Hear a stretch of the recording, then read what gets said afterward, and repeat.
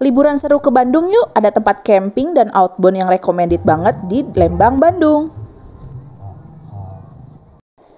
Nah, ini dia tempatnya. Namanya itu Hutan Pinus Lembang. Jadi bukan salah tulis ya, hutan pinus gitu, bukan, tapi Hutan Pinus Lembang. Nah, ini untuk gerbang masuknya. Jadi untuk per orang itu masuk 20.000 ya per orang. Dan ini tuh hanya tiket masuk aja, jadi belum wahana-wahana yang ada di sini dan juga belum uh, apa ya sewa uh, ini sewa apa tuh namanya tempat camping ya. Jadi kalau ada tenda-tenda, terus juga ada uh, mobil yang masuk itu belum termasuk. Jadi parkir dan lain-lain itu harganya beda lagi. Ini aku mau kasih lihat dulu ke kalian. Jadi kalau misalnya dari pintu masuk kita akan disuguhkan pemandangan yang asri banget. Ya namanya juga di hutan pinus kali ya. Jadi tuh kalian bisa lihat hijau-hijau, bunga-bunga semuanya. Nah, untuk uh, tempat-tempatnya tuh jadi kalian bisa lihat kan di sini ada ornamen-ornamen kayak lingkaran-lingkaran gitu. Jadi kayak sebuah terowongan kali ya. Dan kalau malam pasti cakep banget karena lampunya uh, itu ada ya di situ lampu LED bisa nyala dan juga uh, ini keren banget sih pastinya kalau malam hari. Nah, kalian bisa lihat kan itu jembatan di atas tuh itu panjang banget kalian bisa uh, naik di situ dan bayar lagi 15.000 kalau nggak salah per orangnya. Tuh, jadi uh, bisa menyusuri apa ya namanya? seluas uh, si hutan pinus ini gitu ya dari uh, atas viewnya bagus banget tapi sorry banget aku nggak berani naiknya jadi nggak ada view dari atas ya sorry banget nih Nah, terus ini aku kita jalan lagi ke uh, arah kanannya dan kalian bisa lihat di situ ada kayak ornamen ornamen uh, ornamen segitiga lagi. Eh segitiga, segi lima ya. Nah, kayak gitu untuk jalanan-jalannya. Terus di sini tuh disediakan juga kayak gazebo-gazebo tuh, kayak buat tempat piknik tuh asik banget di sini tuh. Nah, kebetulan kalau aku kebutuhannya itu lagi ada gathering keluarga. Tuh, selamat datang keluarga besar katanya. Nah, itu gathering keluarga. Jadi yang pasti aku tuh ke sini tuh rombongan gitu ya. Cuman kalau aku tuh nggak nginep ya atau nggak camping. Nah ini kalian bisa lihat tuh yang ngadain acara tuh bukan keluarga aku doang. Jadi di sini tuh ada yang uh, ngadain outbound buat uh, kantor, gathering kantor, terus juga outbound keluarga, gathering keluarga atau apa pun acara apa pun lah yang gitu yang butuh kayak tenda-tendaan atau apa pun itu ada di sini dan ini seru banget sih. Kalian mesti nonton video ini sampai habis. Nah, seperti yang kalian lihat ya tadi itu musola. Jadi tuh di sana itu ada tempat khusus buat campingnya. Tuh, deket sama musola deket sama kamar mandi tuh ya. Tuh yang biru muda itu kamar mandinya. Nah ini penampakan kamar mandinya jadi deket banget sama eh, apa ya kawasan campingnya gitu ya jadi atau pelataran campingnya. Yuk kita lihat toiletnya kayak gimana keadaannya kayak gini dan ini tuh eh, apa sih namanya bapak-bapak yang bersihinnya tuh ada terus ya. Jadi dia setiap sejam sekali atau dua jam sekali itu pasti bersih bersih gitu ya. Tuh kalian bisa lihat nggak? Itu toilet yang sebelah sana yang tembok putih itu lagi dibersihin.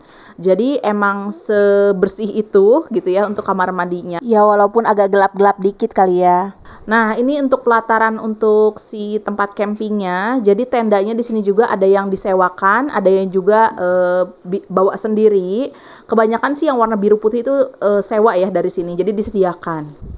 Jadi kalian nggak perlu takut kalau misalnya, aduh nggak punya tenda, tenang, di sini ada tendanya. Jadi kalian tinggal bayar aja sesuai paket yang ada e, di tempat e, itu ya, e, tempat tadi gerbang masuk gitu ya.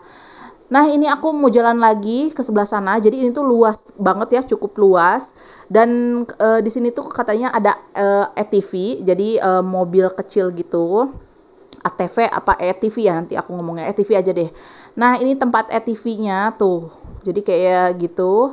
Dan kebetulan ini anak aku sama suami aku mau nyobain ATV-nya jadi harganya itu uh, eh, ATV-nya itu 50.000 untuk empat kali putaran. Ya lumayan lah gitu ya. Untuk uh, lagi musim liburan gini empat kali putaran dan luas cukup luas.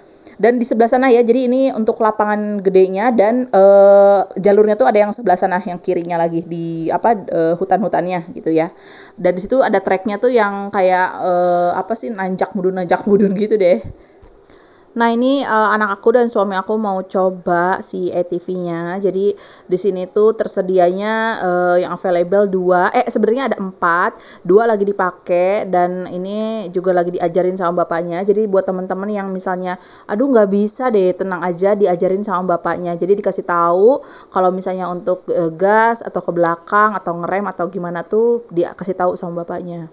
Nah, terus untuk mengendarainya harus orang tua atau e, gimana? Kebetulan kemarin tuh aku lihat kebanyakan sih orang tua ya yang nyetirnya, tapi e, sempet juga ada remaja gitulah e, yang nggak bisa didampingi orang tuanya karena orang tuanya nggak tahu lagi di mana. Terus dia pengen banget naik ATV dan akhirnya diajarin dan untungnya sih aman-amannya aja ya karena e, mungkin diajarin dulu sama bapaknya. Kalau bapaknya rasa anaknya bisa ngendarain sendiri itu dilepas. Tapi kalau enggak dia tetap nggak ngebolehin anak itu mengendarai sendiri gitu. Nah ini kebetulan lagi hujan ritik-ritik juga ya karena di Bandung tuh lagi musim hujan. Tapi anak aku karena pengen banget naik ATV ya udah gitu. Jadi mau nggak mau dia naik ATV sambil hujan-hujanan Nah, ini bagian trek yang uh, aku tadi bilang ya. Jadi sebelah lapangan besar itu ada trek khususnya sebenarnya. Jadi kalian boleh pilih mau ke trek sini apa terus ke lapangan atau di trek ini doang gitu. Jadi ini trek yang benar-benar khusus ATV-nya. Nah, kalian bisa lihat kan ini pemandangannya asik banget dan banyak banget yang lagi camping. Jadi campingnya tuh ya begitulah banyak ya bertebaran di mana-mana Nah ini aku menunjukin juga uh, ini yang di bendera-benderain itu tuh kawasan yang lagi di booking sama keluarga aku buat gathering. Jadi deket uh, sama gazebo yang uh, ada penutupnya itu ya yang banyak bangkunya. Jadi kebetulan ini keluarganya tuh keluarga besar banget. Jadi banyak orang yang bakal ikutan gathering, makanya butuh lahan yang sangat luas gitu ya tuh sampai anak aku guling-guling gitu di rumput karena ya udah emang seluas itu pasti anak-anak tuh pada suka banget kalau diajak ke sini.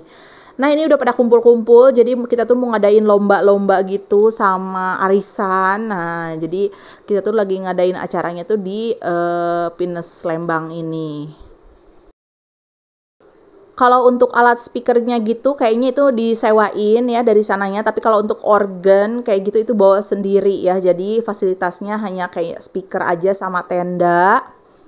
Nah, ini aku sekalian mau spill harga uh, price list camping di sini. Jadi kalau misalnya tendanya bawa sendiri, kita itu cuma di charge 20.000 aja per tenda. Terus mobil itu 50.000 per unit sama motor itu 20.000 per unit. Terus kalau kalian nggak bawa apa pun di sini tersedia juga kayak extra bed, sleeping bag, tenda, instalasi listrik, lampu tenda, kompor sampai kayu bakar atau gas isi ulang sampai matras juga ada ya di sini. Di sini juga ada paket-paket ya. Jadi kalau misalnya paket 4 orang, 6 orang itu ada harga tersendiri. Masih di bawah 500.000 kok harganya. Terus di sini tuh suka ada ngadain promo gitu ya. Jadi paket-paket misalnya kalian kasih tahu aja rombongan sekian orang, itu tuh biasanya dapat uh, promo gitu loh harganya. Jadi uh, makin banyak orang biasanya sih makin uh, murah ya, makin ekonomis untuk harga tiket masuk ataupun harga tendanya. Nah, seperti yang aku bilang di tempat yang tadi ada terowongan yang dikasih lampu LED. Nah, sekarang karena udah sore jadi udah dinyalain lampunya. Tuh, kayak gitu ya, cakep banget. Pokoknya eh, kalau malam aku jamin di sini tuh enak banget karena apa? Karena di sini tuh tempatnya bersih, terawat, terus juga banyak kafe-kafe lucu. Nih, kalian bisa lihat di sini ada kafe nyempil satu di antara eh, tempat-tempat hamparan tenda. Jadi ada kafe, tempat makan gitu. Dan ada juga kantin-kantin yang harganya tentunya lebih ekonomis daripada kafe-kafe cantiknya. Uh, ada di bagian sana ya, di paling bawah, paling bawah gitu sorry uh, paling bawah juga ada nanti aku kasih lihat warung-warung yang ada di dekat pelataran uh, camping ini kalian bisa lihat, jadi kalaupun yang nggak nginep, di sini tuh tempat nongkrong juga asik banget. Karena si cafe yang kecil ini, kalian bisa lihat imut-imut banget. Kayaknya bisa cuma tempat ngopi atau e, sarapan, ataupun cuma bincang-bincang kecil doang. Dan ini tuh di depannya lihat hamparan hijau luas, pokoknya taman-taman yang bener-bener terawat. Tuh, lihat kayak gitu kafenya, cantik banget kan? Nah, kayak gitu lampunya udah nyala karena udah sore tuh dan itu bener-bener asri banget. Kalau nggak salah ini aku week, uh, weekend ya. Uh, aku lupa. Oh weekend weekend. Sabtu. Jadi uh, hanya uh, segitu aja gitu. Maksudnya nggak terlalu rame nggak terlalu sepi juga. Dan ini tuh depannya tuh. Jadi depan-depannya tuh bener-bener kayak hutan pinus aja. Tuh kayak gitu Oh iya ini aku mau kasih lihat cuplikan-cuplikan kegiatan yang di gathering keluarga aku. Nah ini tuh mereka lagi tarik tambang. Jadi kita tuh di sini ngadain lomba-lomba kecil-kecilan gitu. Terus nyanyi-nyanyi. Terus juga uh, arisan. Nah terus makan bersama. Pokoknya seru banget. Kalian juga bisa kayak gathering kantor di sini. Terus juga mungkin acara uh, apa ya kayak kumpul-kumpul kayak gini lah. Entah itu teman-teman atau keluarga. Kalian bisa banget sih ke sini. Oh iya, kebetulan ini lagi versi tarik tambang anak-anaknya. Nah, nanti ada cuplikan juga versi tarik tambang ibu-ibunya. Terus nanti ada bapak-bapaknya, pokoknya orang dewasanya gitu ya.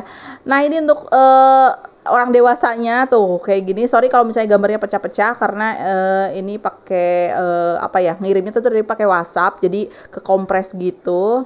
Tuh, kayak gitu. Pokoknya seru banget kalau kalian ngadain acara di sini lanjut ke jalan yang deket kafe e, cantik tadi. Jadi aku lihat sebelah sana ada kayak cottage, bukan cottage apa ya? Kayak tempat nginep gitu. Dan itu penasaran banget, jadi aku susurin aja sih e, tempat e, taman ini yang luasnya di depan kafe cantik tadi gitu ya. Nah, kalian bisa lihat kan di sini bener-bener kayak tanamannya itu terawat banget sampai uh, aku ketemu tuh di sebelah kanan sana tukang kebunnya gitu ya bener-bener lagi beresin taman gitu. Nih kalian bisa lihat tuh cantik banget pokoknya tanaman-tanaman di sini. Bener-bener kayak terawat gitu tuh.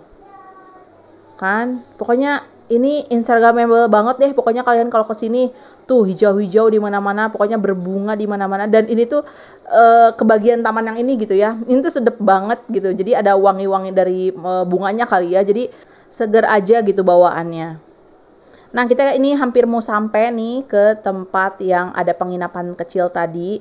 Mana nih videonya belum juga maju-maju ter ya. Aku cepetin dulu nih.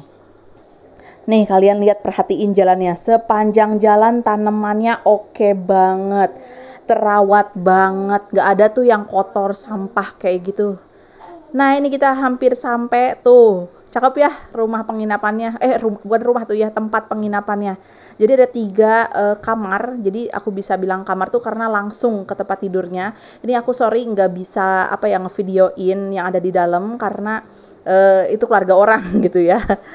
Nah itu tuh deket ya penginapannya deket sama tempat makan warung-warung tempat makan tuh yang ada di pinggiran tadi. Tuh langsung hamparannya ke taman-taman lagi dan kalian bisa lihat tuh yang di sudut sana ada yang segitiga segitiga. Nah itu tuh kayak apa ya istilahnya? Kayak tempat pikniknya lah gitu. Jadi bisa ditempatin satu uh, kobong gitu satu keluarga. Tuh kayak gitu aku nggak berani videoin karena itu banyak banget orang terus ada juga ada yang pacaran di situ berdua. Jadi aku agak malu gitu ngevideoinnya. Pokoknya di sini enak banget deh kalau kalian misalnya mau refreshing gitu ya terus mau camping outbound asik banget deh pokoknya. Oh iya, ini tuh yang terakhir aku mau kasih lihat, ini tuh ada Flying Fox juga, kalian bisa bayar 20.000 per orangnya. Tuh ya, jadi dari mulai anak-anak sampai orang dewasa juga bisa. Pokoknya kalian yang mau ke sini langsung kontak aja yang ada di description box. Jadi nanti aku kasih nomor telepon dan juga alamat dan juga Google Map. Kalau mau acara-acara atau misalnya mau nego-nego dikit, kalian mendingan kontak langsung aja ya. Jangan nanya ke aku, bisa nggak harganya segini, bisa nggak harganya segini. Nah, langsung aja WhatsApp ke nomor yang ada di description box.